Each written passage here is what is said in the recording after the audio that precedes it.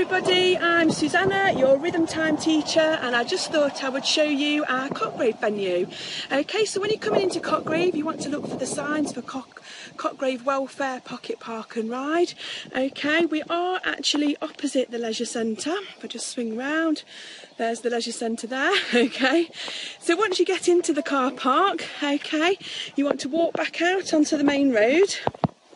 Okay, and follow the path up here, okay? So this is the best way to come when you've got pushchairs or wheelchairs. Um, the entrance off the car park actually leads to steps.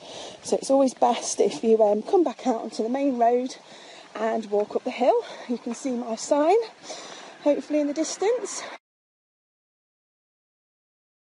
Then we come up the hill here, we turn into the welfare centre. There we go. That's it, okay and we make our way through the doors. Here we go, let's pull. That's it. When we get into the building, um, if you press the button here, they should let you in. Okay. There we go.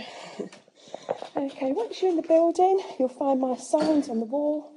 Um, there's one, so we just follow the arrows. We've got ladies' toilets here, okay. And there's a disabled toilet here as well, so if you need to ch change your babies, okay. Here's my next sign, so we're down here. okay, it is always quiet uh, first thing in the morning, which is always good, nobody's around. okay, here's my next sign.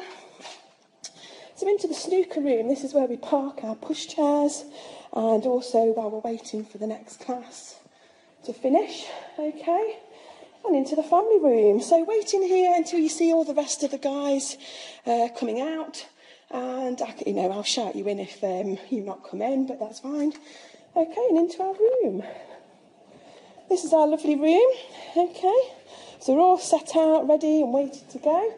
Okay, so um, if you can arrive five minutes before your class, um, we do start the classes prompt on time, um, so it's really helpful to make sure everyone's in place and everyone's seated. Okay, um, over on this side of the room, we have any notices. Um, we also have your name stickers.